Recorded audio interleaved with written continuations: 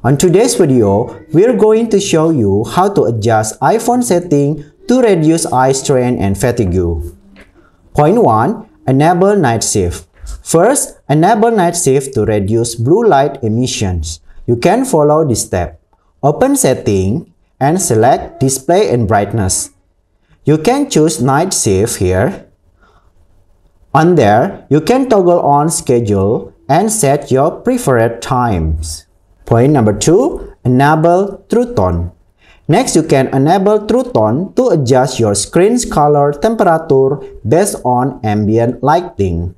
Here's how. After you open setting and tap on display and brightness, you can toggle on the True Tone here. Point number 3. You can adjust the text size. Adjust the text size for easier reading. To do this, open setting and then on the display and brightness setting, you can choose text size here. You can use the slider to adjust the text size. Point number 4. Enable Reduce White Point. Enable Reduce White Point to lower screen brightness and reduce eye strain. You can follow this step. Open Setting and then tap Accessibility. And you can choose Display and Text Size. Toggle on Reduce White Point and then you can adjust the slider intensity.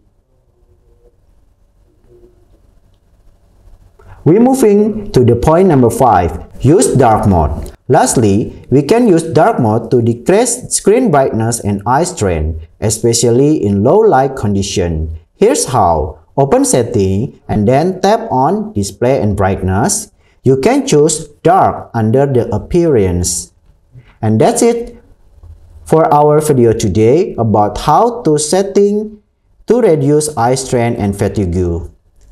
Thanks for watching. We hope these step-by-step -step tips help you reduce eye strain and fatigue while using your iPhone. Don't forget to like, share, and subscribe for more iPhone tips and tricks. See you next time and have a nice day. Bye!